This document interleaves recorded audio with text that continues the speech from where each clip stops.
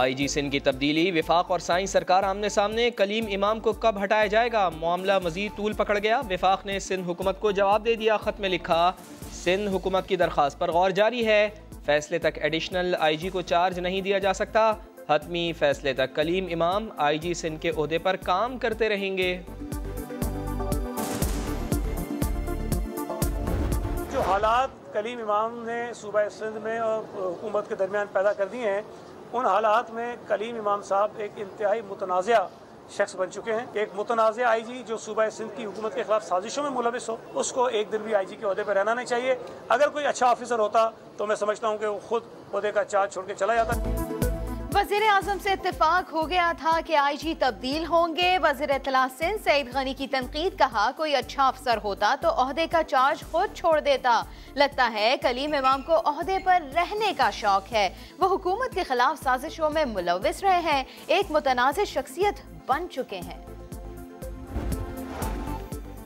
اتحادیوں کو منانے کا مشن حکومت کی دوڑیں۔ تحریک انصاف نے متحدہ قومی موومنٹ پاکستان کو منانے کی کوششیں تیز کر دیں۔ سینئر رہنما جہانگیر خان ترین اور Pervez Khattak M Q M کو منانے کا ٹاسک لیے کراچی پہنچ گئے۔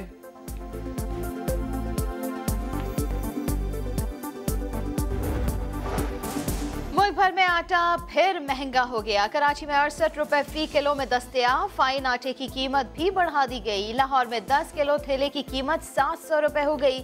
کوئٹہ میں قیمت اٹھارہ روپے فی کلو بڑھا دی گئی۔ یوٹیلیٹی سٹور سے بھی غائب، عوام کہتے ہیں ملک میں تبدیلی تو آ گئی مگر قسمت نہ بدلی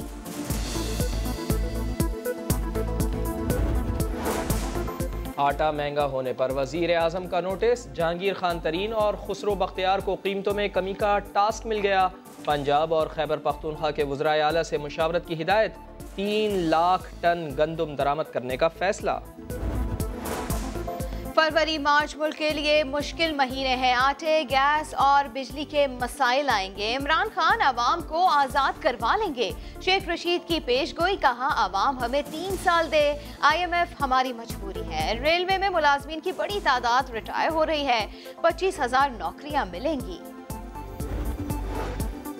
کراچی والو، سڑک پر آنا تو گاڑیاں رونگ وے پر نہ دوڑانا، ورنہ سیدھے جیل جاؤ گے۔ ٹریفک قوانین کی خلاف ورزی پر سخت جرمانے۔ ٹریفک پولیس کی مہم دوسرے روز بھی جاری۔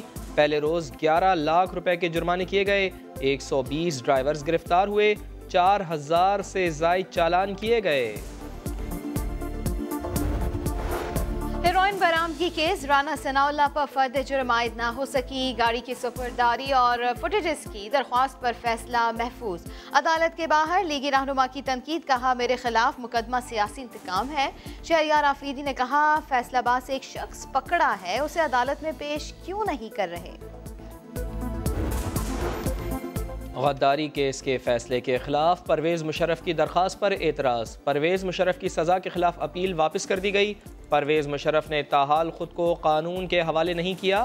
گرفتاری دینے سے پہلے مشرف اپیل دائر نہیں کر سکتے۔ پرویز مشرف نے سزائے موت کے خلاف سولہ جنوری کو درخواست دائر کی تھی۔ ملک میں شدید سردی کی لہر جاری۔ شمالی علاقہ جات اور بلوچستان کا موسم آج بھی سرد۔ سٹور کا پارا منفی پندرہ تک گر گیا۔ کوئٹہ میں برف کے ڈھیر۔ پارا منفی چھ تک گر گیا۔ شہری ٹھنڈ کی وجہ سے پریشان۔ کراچی میں سرد ہوائیں۔ کم از کم پارا سات ڈگری ریکارڈ۔ بنگلہ دیش کے خلاف ٹی ٹوینٹی سیریز کے لیے قومی ٹیم کی قذافی اسٹیڈیم میں دوسرے روز بھی تیاریاں جاری۔ ٹی ٹوینٹی سکواڈ میں جگہ بنانے والے اوپنر احسان علی ٹیم میں شمولیت پر خوش۔ بنگلہ دیشی بورڈ نے سیریز کے لیے ٹیم کا اعلان کر دیا۔ محمود اللہ قیادت کریں گے۔ ٹی ٹوینٹی میچز کی آن لائن ٹکٹوں کی فروخت کا آغاز ہو گیا۔ کم قیمت ہونے کے باعث شائقین کا جنرل انکلوجر کے ٹکٹس پر فوکس ٹکٹوں کی قیمتیں پانچ سو سے چار ہزار روپے تک مقرر۔ ایک شناختی کارڈ پر شائقین پانچ ٹکٹیں خرید سکتے ہیں۔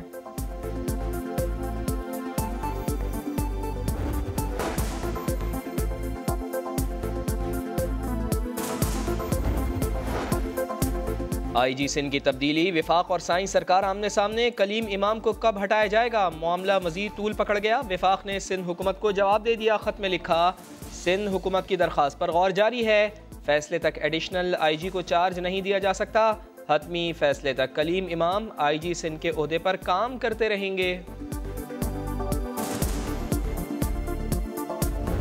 جو حالات کلیم امام نے صوبہ سندھ میں اور حکومت کے درمیان پیدا کر دیے ہیں ان حالات میں کلیم امام صاحب ایک انتہائی متنازعہ شخص بن چکے ہیں۔ ایک متنازع آئی جی جو صوبہ سندھ کی حکومت کے خلاف سازشوں میں ملوث ہو، اس کو ایک دن بھی آئی جی کے عہدے پہ رہنا نہیں چاہیے۔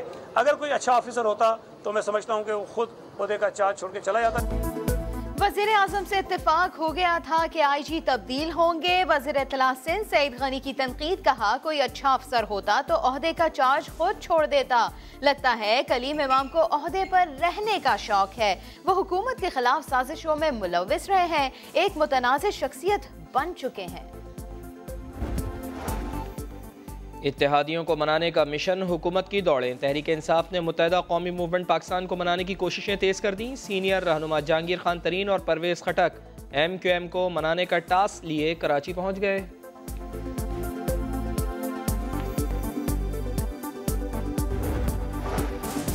ملک بھر میں آٹا پھر مہنگا ہو گیا۔ کراچی میں اڑسٹھ روپے فی کلو میں دستیاب۔ فائن آٹے کی قیمت بھی بڑھا دی گئی۔ لاہور میں دس کلو تھیلے کی قیمت سات سو روپے ہو گئی۔ کوئٹہ میں قیمت اٹھارہ روپے فی کلو بڑھا دی گئی۔ یوٹیلیٹی سٹور سے بھی غائب۔ عوام کہتے ہیں ملک میں تبدیلی تو آ گئی مگر قسمت نہ بدلی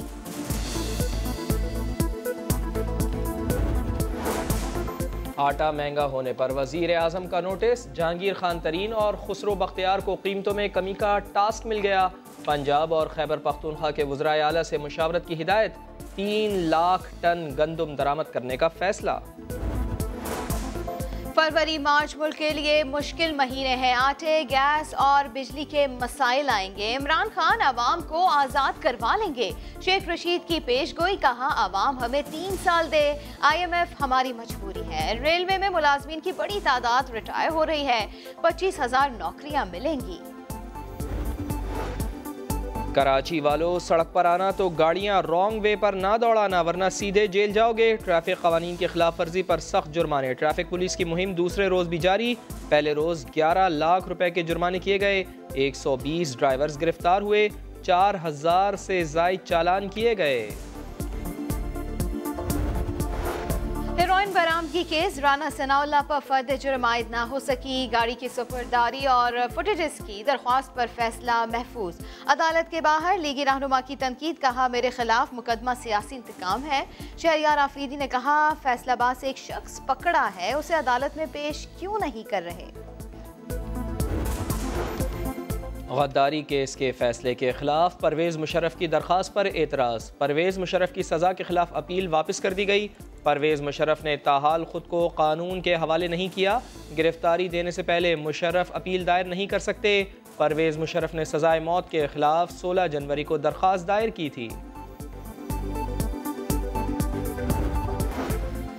ملک میں شدید سردی کی لہر جاری۔ شمالی علاقہ جات اور بلوچستان کا موسم آج بھی سرد۔ استور کا پارا منفی پندرہ تک گر گیا۔ کوئٹہ میں برف کے ڈھیر۔